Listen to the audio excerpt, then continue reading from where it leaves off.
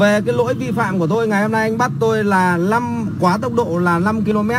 Cụ thể ở trong biên bản là 55 trên 50 Vâng, km. rồi. và những cái lỗi này là tôi hoàn toàn là tôi không đồng ý bởi vì xe của tôi tôi có cài đuôi control tôi chạy. Không thể quá 55 được.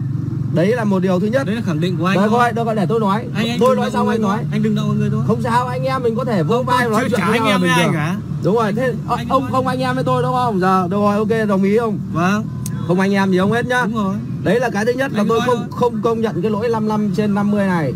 Thứ hai là tôi không công khi kiểm tra cái máy kiểm tra tốc độ của các ông ấy là tất cả các cái tem niêm phong ở trên máy đều không còn nữa. Cái tem bắt ở ốc vít thì bị đục thủng và cái tem vỡ chia đôi hai phần của thân máy và phần đầu máy là bị rách ra làm đôi. Có nghĩa là máy của các anh là được mở ra và có nghĩa là hoàn toàn là nó không có cái cái cơ quan kiểm định nào người ta dán cái tem niêm phong vào đấy nó cũng giống như cái xe của các anh thế. Dán tem niêm phong là để không được không Có được cục xé. đo lường tem cục đo lường đấy. Cục tôi không biết tôi chỉ biết có À, mấy cái tem. phải tìm hiểu đây này tôi đã chụp ảnh tất Vâng, cả các cái rồi. tem mà ở trên máy của anh lại Đúng ở rồi, trong cái điện thoại tôi rồi. Vâng vâng. đã có chụp rồi. Có ai cấm anh chụp rồi đâu. đấy là điều thứ hai. Và điều thứ ba tất cả các cái mà khiếu kiện công tác về đi lại chi phí di chuyển đi lại sau này thì tổ công tác của ông Tạ Đình Hưng ông đại úy cán bộ là chính xác là ông ấy là phải hoàn toàn chịu trách nhiệm với tôi.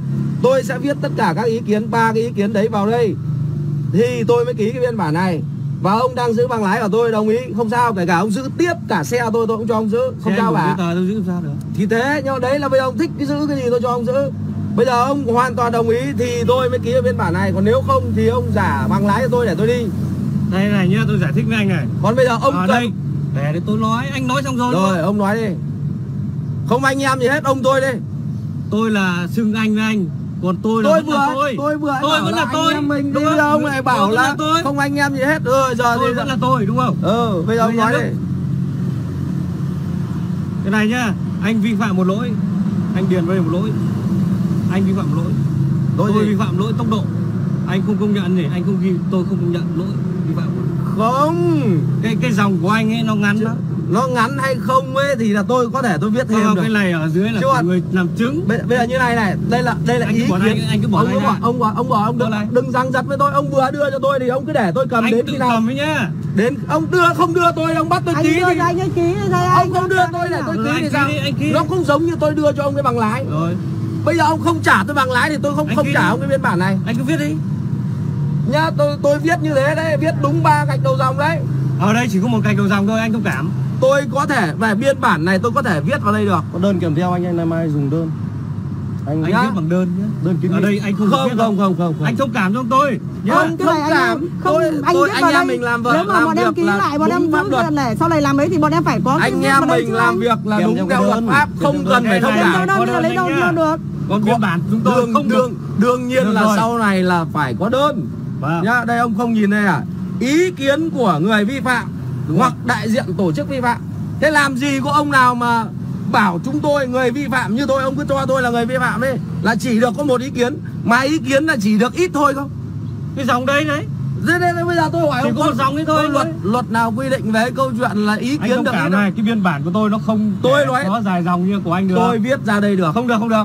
Anh thông cảm tôi cái anh giải thích cho anh ấy rõ là cái ý kiến Cái của anh biên không bản. lỗi Còn nếu- thôi nếu- Anh không công nhận lỗi anh ghi công nhận không công nhận lỗi vào là anh sao ghi không không, công nhận lỗi nhưng mà tôi ghi rõ vào đây có ba gạch đầu dòng không cái đấy là Anh anh không bổ không. sung vào cái đơn của anh sao anh bổ sung vào cái đơn của anh nhá Nếu mà có cái câu chuyện có hoặc không ấy thì Anh các ông đừng có, đừng có ông viết ý kiến của người vi phạm đây. ý kiến của anh là Như thế là các ông đang bịt mồm dân lại nhá. anh ông để ông để tôi nói này. Ý kiến là ý kiến, còn đâu công nhận có hay không thì lại là khác. nhưng mà những ý kiến của anh những ý kiến kia ấy là ý kiến anh góp vào cái đơn. Không, không liên quan đơn thì này. chắc chắn là các ông bị ăn đơn rồi. Biên bản là biên bản vi phạm hành chính tôi chỉ Hôm nay tôi ăn cái biên bản này thì các ông chắc chắn các ông ăn đơn rồi. Đấy là cái nói nói thẳng như thế. chúng tôi có Còn nếu cái câu mà. chuyện bây giờ tôi nói ông nghe này Bây giờ tôi đã bảo rồi Tôi ở mãi Hải Phòng cơ Về là về quê Bố tôi ở Hưng Yên Đấy, Hôm nay là ngày Tết đến nơi rồi Tôi về À. quê để thắp hương các cụ. Ông hiểu không? Chưa xuống các ông đã đè tôi ra Các ông viết hết nửa biên bản rồi. Các ông cứ lập đi không sao cả. Còn cái câu chuyện này lỗi vi phạm Nó có 5 km này này.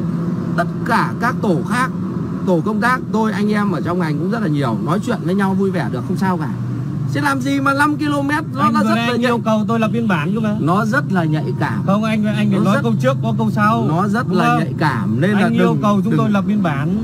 Không phải ông viết hết một nửa ấy rồi còn đâu nữa mà.